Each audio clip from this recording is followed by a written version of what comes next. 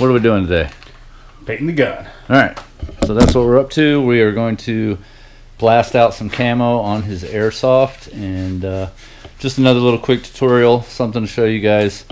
Obviously, your mileage may vary. Do as you please. Our style is not the only style, so don't think that. I think we're going to tape off just that little area, maybe. I mean, Yeah. we can use an X-Acto to make it perfect, but Take um, that off. just tape that section and then we'll Little blast slice. everything else. First, we need to get some black over that, and then we'll cure it with the hair dryer, and then we'll actually start blasting the camo. Ryan Little.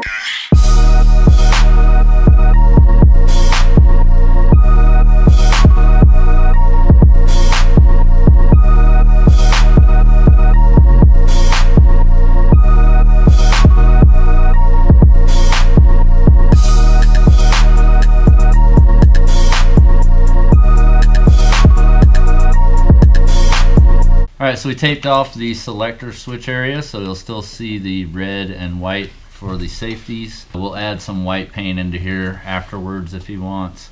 And now we're just gonna blast this out and uh, throw a little style into it.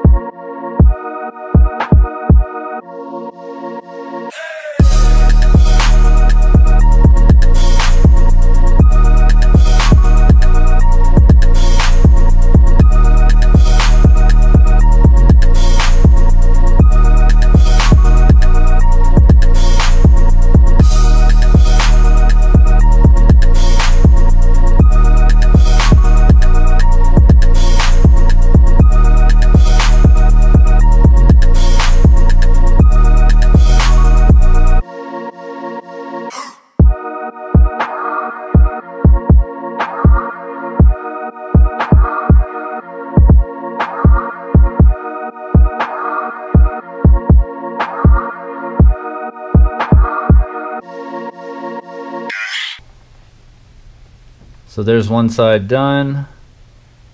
Obviously, you can change up your patterns and your sprays and which layer you do first, but I like to go with a light base coat that makes the lighter colors pop, gets rid of the black background, and then do a dark color on top of the base and then go back and forth, dark light, dark light. But now we'll do the other side and we'll see how she looks.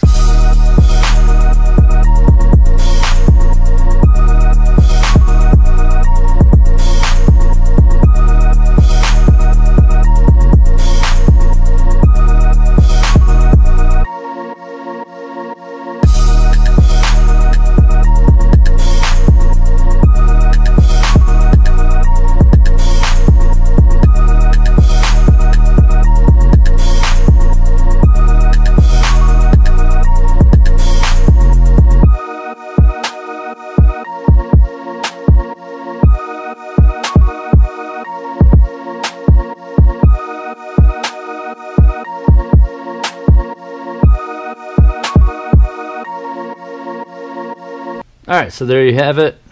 Quick and easy airsoft paint job. You can do this to pretty much any gun.